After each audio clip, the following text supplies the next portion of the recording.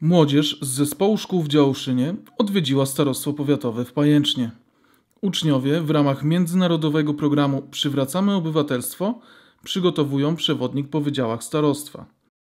Licealiści dowiedzieli się, jak funkcjonuje urząd oraz zapoznali z zadaniami poszczególnych wydziałów.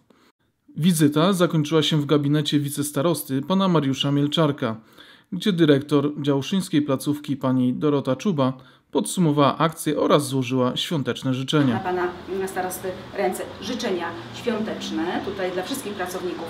Wszystkiego najlepszego na święta i wszystkiego y, dobrego w nowym roku. Dziękuję Dziękuję. Również Dziękujemy. Bardzo Dziękujemy. miło Wszystkiego dobrego życzymy. Wzajemnie również. Dziękuję.